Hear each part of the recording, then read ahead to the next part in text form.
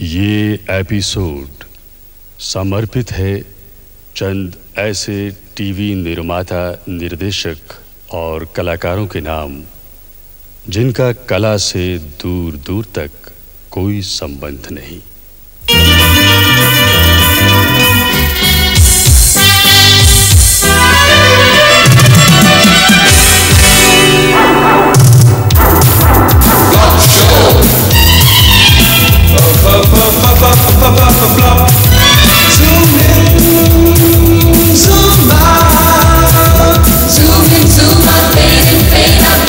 Try to walk, I'm in trouble, trouble, I did that.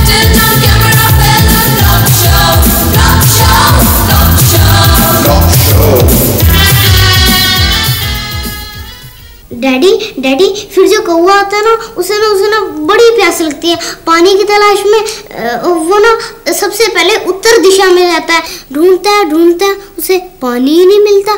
फिर ना फिर ना, वो ना दक्षिण दिशा में जाता है। उसे वहाँ भी पानी नहीं मिलता। जब वहाँ नहीं पानी मिलता तो वो ना वो ना पूर्व दिशा में जाता है। क्या उत्तर पूर्व पश्चिम लगा रखी है?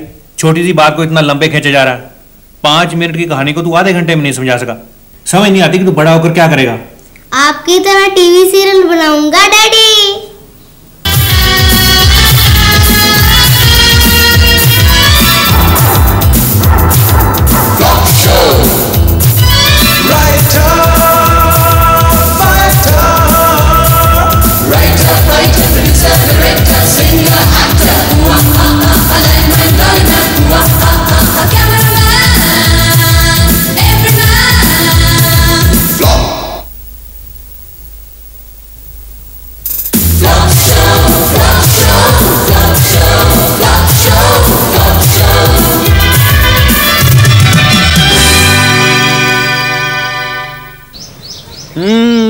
गणेश भाई आपकी मिठाइयों की दुकान है।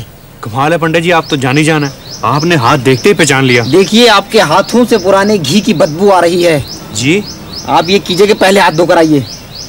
हाथ पंडित जी आप रहने दे। आप इस कुंडली से अंदाज़ा लगा रहे हैं हाँ ये ठीक रहेगा। अच्छा आप बताइए आपका प्रश्न क्या है? दरअसल हम दोनों बिजनेसमैन हैं। मेरी मिठाइयों की दुकान है और इनकी दवाइयों की। हम्म सिद्ध गणेश भाई मेरे हिसाब से आप दोनों का धंधा बहुत अच्छा चलता है। हाँ, बिल्कुल जी। जो हमारी दुकान की मिठाइयाँ खाता है इनकी दुकान की दवाइयाँ ज़रूर खाता है। तो फिर अब समस्या क्या है? पंडित जी मैं बताता हूँ। दरअसल हम दोनों मिलके किसी नए बिज़नेस में पैसा इन्वेस्ट करना चाहते हैं। उसके बारे में पूछना था। हम्म सिद्ध गणेश भाई शुक्र और शनि की दशा तो बिल्कुल ठीक है। तीसरे में सूर्य और पाँचवें में बृहस्पति का गोचर है। देखिए मेरे हिसाब से आप कोई भी काम कीजिए सफलता आपके पाँव चूमेगी ही। पंडित जी यही तो हम पूछना चाहते हैं कि कौन सा काम शुरू करें? वैसे हमारे मन में दो तरह के बिज़नेस हैं।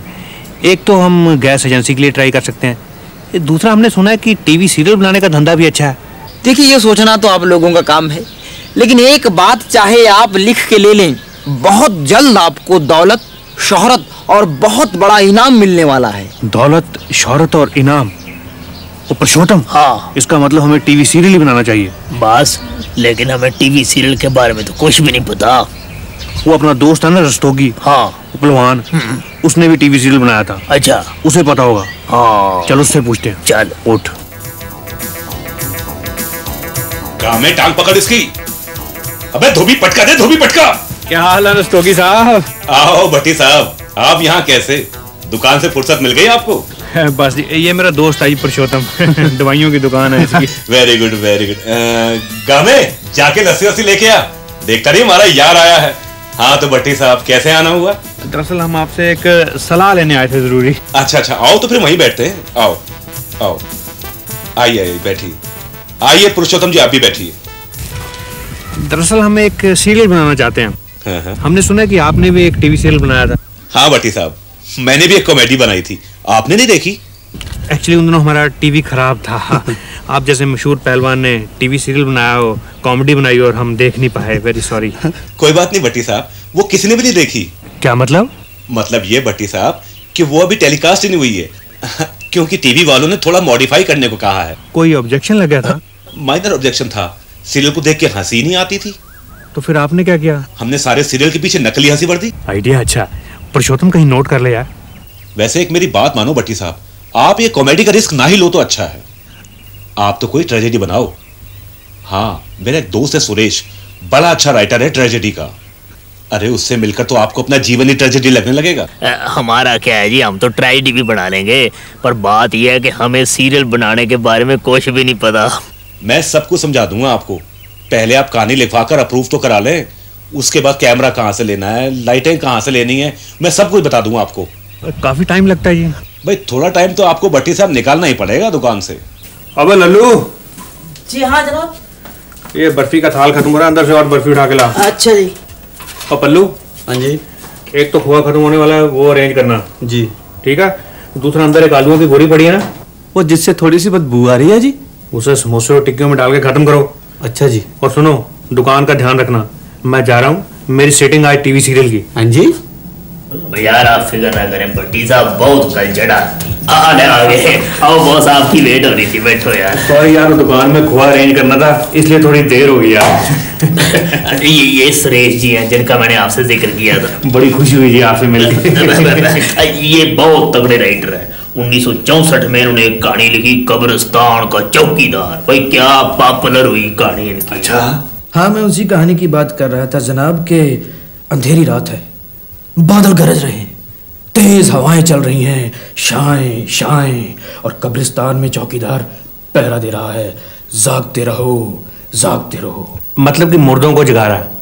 नहीं जी वो अपनी ड्यूटी दे रहा है। क्या डेप्थ है यार सीन में।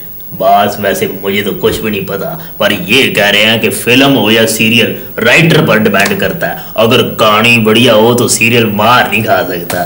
बिल्कुल जी ये तो वही बात है। एक बार टिक्कियों का मसाला ठीक बन जाए उसके बाद टिक्की थोड़ी बहुत कच्ची भी रह जाए लोग खा जाते हैं। वैसे आप किस तरह का सीरियल लिखवाना चाहते हैं जनाब? हम तो ठहरे जी बिजनेसमैन हमें तो चार पैसे बचने चाहिए सीरियल चाहे जैसा भी हो। कहानी तो ये भी बहुत ज़बरदस्त है जनाब। कब्रिस्तान का चौकीदार। लेकिन पास करवाना आपका काम है? वो यार पास तो हम करा ही लेंगे शायद आपको पता नहीं। अपने इलाके के एमपी है ना प्यारे लाल जी। अपने बास को बहुत अच्छी तरह जानते हैं। फिर तो जी सीरियल पास ही पास है। ओ भाई और कितनी देर लगेगी यार हमें दो घंटे हो गए बैठे हुए। देखिए अंदर उनके खास आदमी बैठे हैं जैसे ही वो निकलेंगे आपको मिलवा देंगे। ए भाई हम भी कोई आम आदमी नहीं है। चार साल पहले मैं और आपके एमपी साहब इकट्ठे जेल में थे। अच्छा अच्छा अच्छा तो आप भी आंदोलन में इनके साथ थे? नहीं नहीं मैं तो अडल्ट्रेशन के चक्कर में अंदर हो गया था। हमारी दुकान के आलू छोले खा के एक आदमी फ़ूड पॉइजनिंग से मर गया था। यस सर ठीक है सर तुझे ये बताने की क्या ज़रूरत थी कि अडल्ट्रेशन के चक्कर में अंदर हुआ है? यार मैं तो बातों बातों में शो कर रहा था कि एमपी साहब हमारे काफ़ी नज़दीक हैं। हट। ये भी कोई तरीका? है आप अंदर जाइए प्लीज़ नमस्कार जी। नमस्ते जी। हाँ जी फरमाइए। मेरे ख्याल आपने हमें पहचाना नहीं। चार साल पहले मैं आपके साथ जेल में था जी। अच्छा अच्छा। मैं भी कहूँ आपका चेहरा कुछ देखा सा लगता है। तो आप भी हमारे साथ आंदोलन में थे? नहीं जी मैं तो अडल्ट्रेशन के चक्कर आंदोलन में आपके साथ थे जी देशभक्ति सर। भट्टी साहब तो आपकी बहुत प्रेज करते हैं जी जेल की बहुत बड़ी बड़ी बातें सुनाते हैं। आप हुक्म करें। मैं बताता हूँ सर जी दरअसल हम दोनों मिलके एक टीवी सीरियल बना रहे हैं। आपको तो पता है आजकल टीवी सीरियल अप्रूव कराना बहुत मुश्किल है।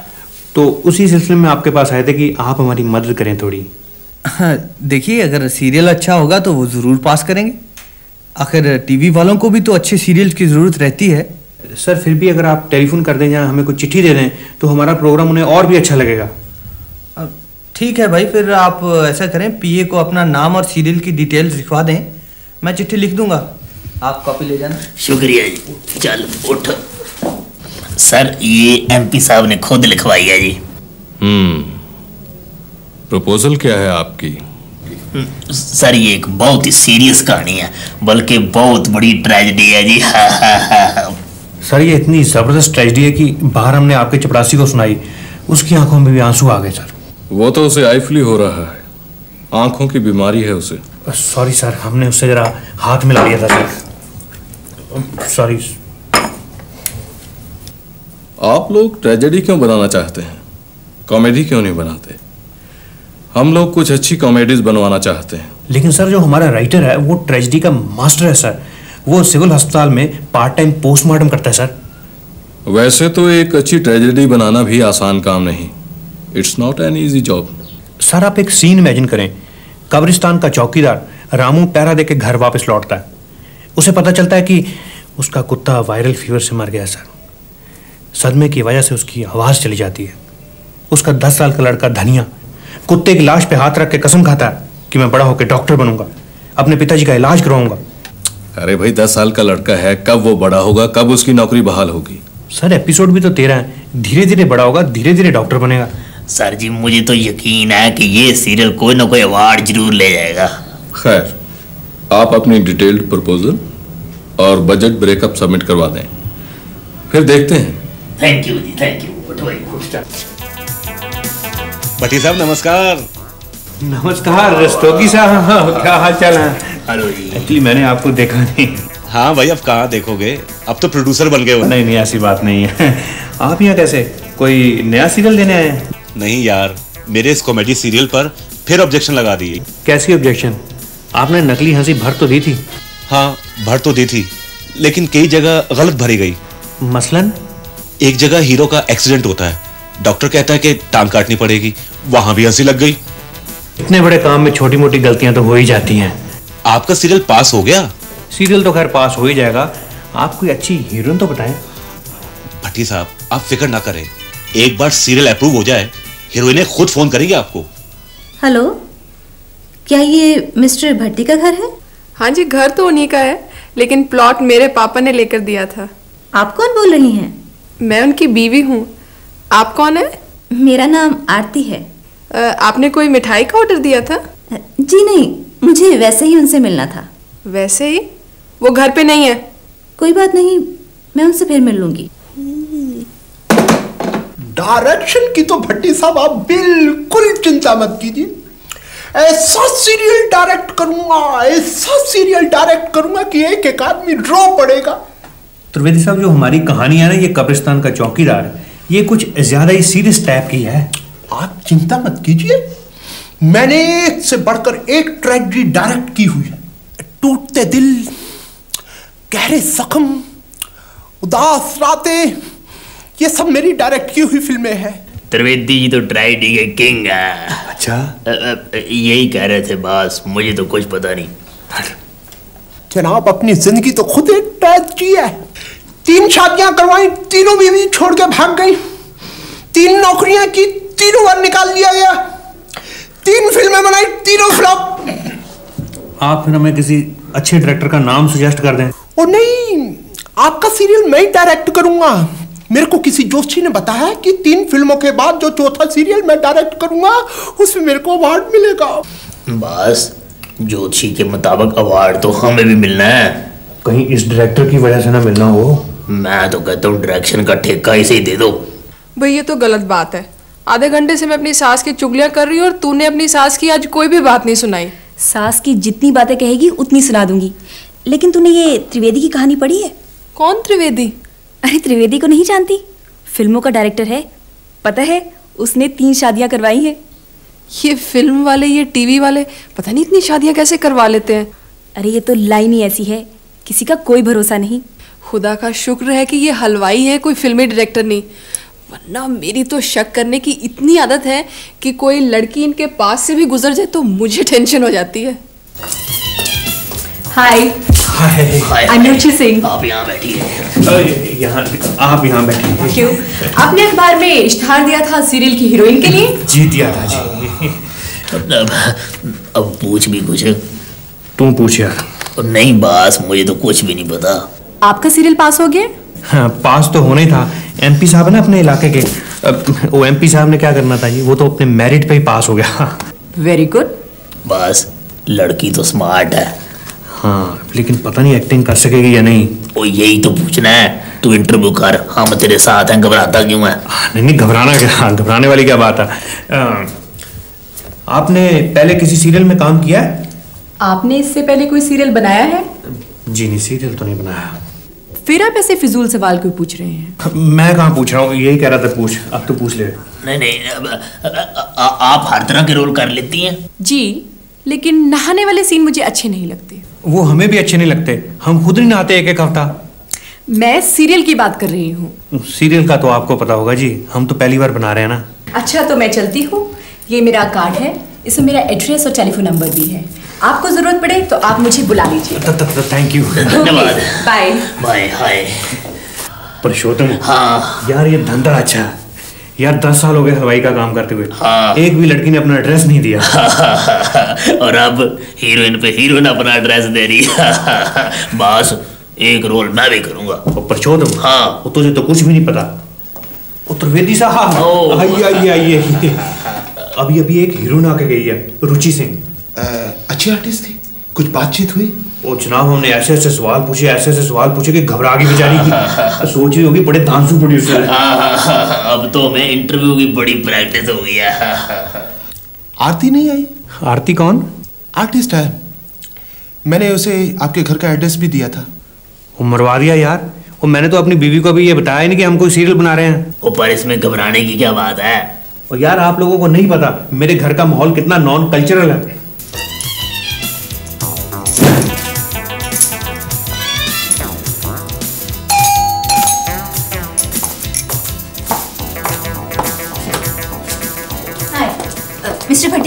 अरे अरे कहाँ चली जा रही हो? कौन हो तुम? आपने शायद मुझे पहचाना नहीं। मैं आरती हूँ।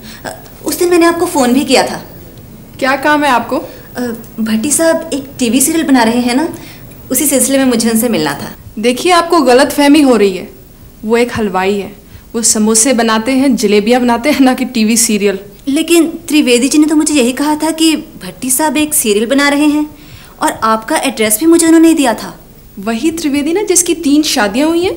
हाँ बिल्कुल वही। देखो लड़की जिस रास्ते आई हो ना उल्टे पाँव वापस हो जा। देखिए आप मुझे गलत समझ रही हैं। मैं तो यहाँ हीरोइन बनने के लिए लेकिन मैं ठीक समझ रही हूँ। ये चुड़ैल देख रही हो? बड़ी नेचुरल चुड़ैल है। और इसके बाल तो बिल्कुल असली हैं।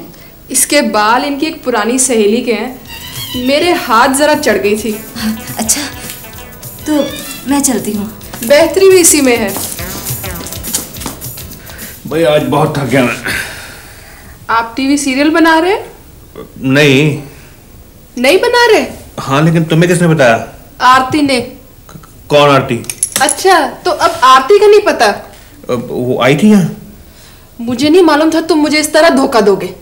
प्रीति मैंने तुम्हें कौन सा धोखा दिया? कैसा धोखा दिया? मैंने एक हलवाई से ये सोचकर शादी की थी कि वो लड़कियों के चक्कर में कभी नहीं पड़ते। उन्हें तो खोआ बनाने से फुर्सत नहीं मिलती। वो प्रीति मैं तो एक गैस एजेंसी लेना चाहता था लेकिन एक ज्योतिषी ने बताया कि अगर तुम टीवी सीरियल बनाओगे तो तुम्हें बहुत बड़ा इनाम मिलेगा दौलत मिलेगी शोहरत मिलेगी। और ज्योतिषी ने ये भी बताया होगा ना कि तुम्हारी तीन तीन शादियाँ होंगी? ना ना उसकी सारी बातें सच नहीं होती। मुझे सब पता है। पहले तुम सीरियल बनाओगे फिर फ़िल्म बनाओगे फिर फ़िल्म की हीरोइन से शादी कराओगे। मैंने त्रिवेदी की सारी कहानी पढ़ ली है। प्रीति त्रिवेदी बेचारा तो पहले बड़ा दुखी आदमी है। अच्छा तो त्रिवेदी अब बेचारा लगने लगा। मुझे नहीं पता। मैं नहीं ये सीरियल बनाने दूँगी। लेकिन प्रीति अब हमें सीरियल लॉट हो चुका है। हम काफ़ी पैसा खर्च चुके हैं। तो मैं क्या करूँ? कुछ ना कुछ तो करना पड़ेगा ना। सीरियल तो बनाना ही है। ठीक है। लेकिन मेरी भी एक शर्त है। क्या है? आपके सीरियल में कोई लड़की काम नहीं करेगी। प्रीति ये कैसे हो सकता है? हमारी स्टोरी में दो तीन फ, फ, फ, फीमेल कैरेक्टर्स हैं। मुझे नहीं पता। लड़कों को विग बना के लड़कियाँ बना लेना। लेकिन अगर मुझे पता चला किसी लड़की को लिया है तो मैं हमेशा के लिए घर छोड़ के चली जाऊँगी। ओ यार नहीं। ये नहीं हो सकता। मैं हर तरह का कंप्रोमाइज करने को तैयार हूँ पर हीरोइन का रोल लड़का ओ नहीं ये नहीं हो सकता। डायरेक्टर साहब आप हमारी मजबूरी समझने की कोशिश तो करें। ओहो भाई आप किस जमाने की बातें कर रहे हैं? ये सीरियल है कोई नौटंकी नहीं है। आप महेश को ट्राई तो करें। उसके घुंघराले बाल हैं। मोटी आँखें हैं थोड़ा मेकअप बढ़िया हो जाएगा किसी को नहीं पता चलेगा। मैं मारा जाऊँगा। मेरी पहले तीन फ़िल्में फ्लॉप हो चुकी हैं। मैं आपके पाँव पड़ता हूँ। अगर ये सीरियल फ्लॉप हो गया ना तो मैं कहीं का नहीं रहूँगा। मेरी कहानी का क्या होगा जनाब? एज ए स्क्रिप्ट राइटर मेरा तो करियर ही खराब हो जाएगा। यार आपको अपने कैरियर की पड़ी है। अगर मेरी बीवी ने मुझे तलाक दे दिया मुझसे शादी कौन करेगा? मेरी शादी पहली बड़ी मुश्किल से हुई है। ओ मिस्टर भट्टी प्लीज़ आप अपनी बीवी को मना ले। आप कहें तो मैं रिक्वेस्ट करके देखूँ। वो नहीं मानेगी मानना आपको ही पड़ेगा। आप बेफिक्र होकर शूटिंग रखिए। अगर थोड़ी बहुत कोई कमी पेशी रह जाएगी हम संभाल लेंगे। हाँ।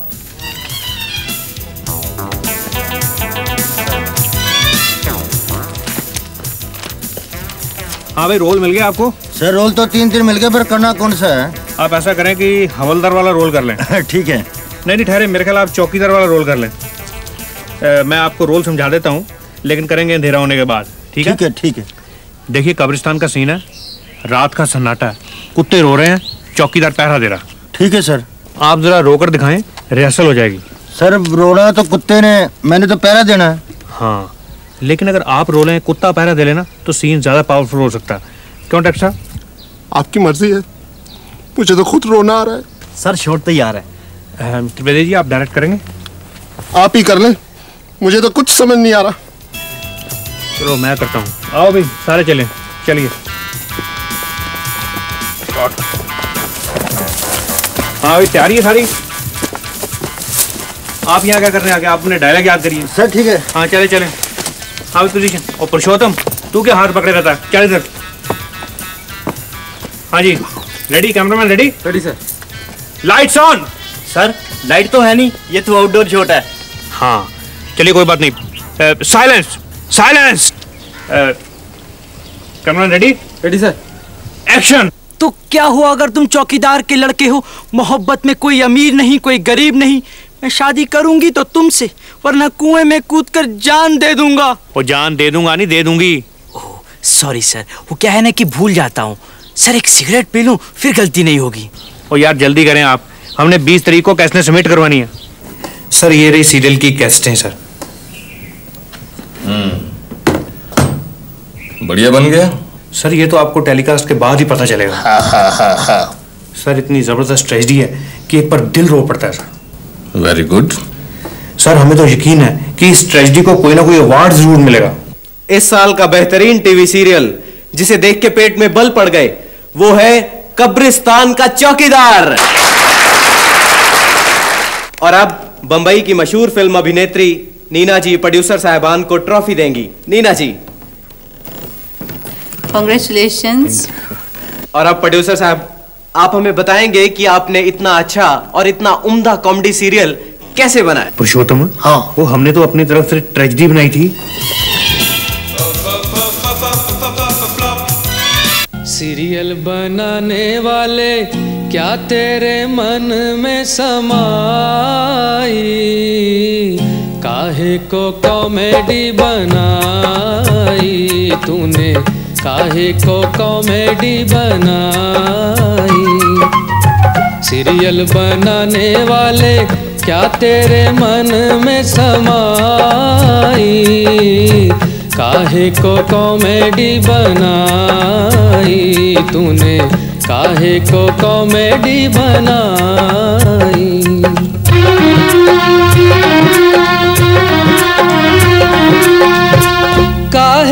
लिए तूने नकली से एक्टर, कहाँ से ढूंढा तूने फ्लॉप डायरेक्टर? काहे बनाया तूने सीरियल का हलवा? काहे बनाया तूने सीरियल का हलवा? किया है तूने प्राइम टाइम का मलबा? गुपचुप तमाशा देखे वाह रे तेरी चतुराई काहे को कॉमेडी बनाई तूने? काहे को कॉमेडी